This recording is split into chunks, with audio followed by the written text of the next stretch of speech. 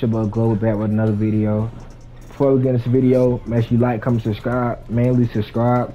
But today I'm giving y'all a new updated VC glitch. As y'all see right now, I got 22,000K. Well, 22,000. Holy shit, I said 22,000K. Call me a dipshit. But said we finna get into the video and let's do it. So you want to load up the My NBA era. You want to start the team and do whatever you have to do. And once you load in, you want to click circle and go down to front office and roster. You want to press options to edit everyone in the NBA. And you want to press X and then press L2 or RT and, or LT and put everyone in NBA height down, their dunk, mid range, and three point. And after you do that, you want to go back to your team that you own, put their height up, their dunk, mid range, and three point. See me, I just did layup and stand up also, including free throw, but you don't have to do all those. And you want to click confirm and you want to load back out and load into a game. Before you load into the game, you want to go to options and settings and look at you see your minutes should be on 12.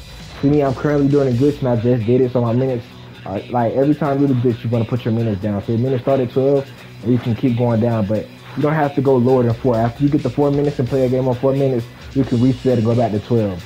But other than that, let's get into the glitch and show y'all. Uh, show y'all the game. So it's just stand made so the process be faster.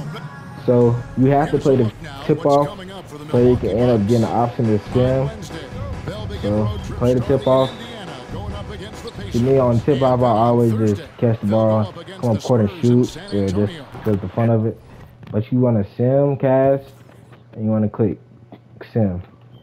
You can go to fastest speed as I just did with my R3. All you gotta do is move it over. It says just at the bottom left.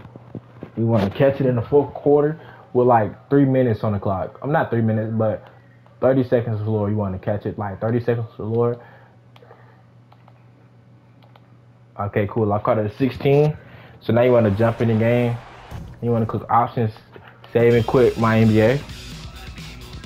And when you save and quit, you want to load back into it and it should load you right back into the game.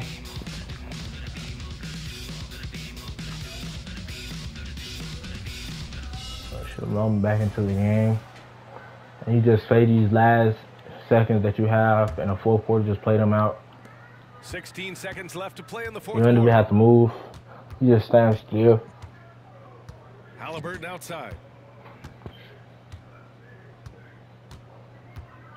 Out to Hield for three. He can't get it to go. So All right, so now you just wait till everything come up, or just press X so the process probably go faster. I'm not sure, but you want to quit and should load you back into your like your games that you've been playing. So I got 875 VC. So now I'm gonna show y'all my VC. I'm gonna show y'all my VC and just show y'all I'm not lying. So I should have 23,000 because getting the video I had 22,000, think 500.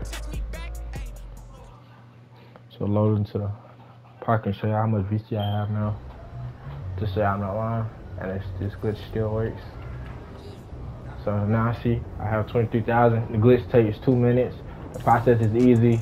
You can keep doing it and that's as easy as that. But make sure you like, comment, subscribe, turn on post notice, and global out.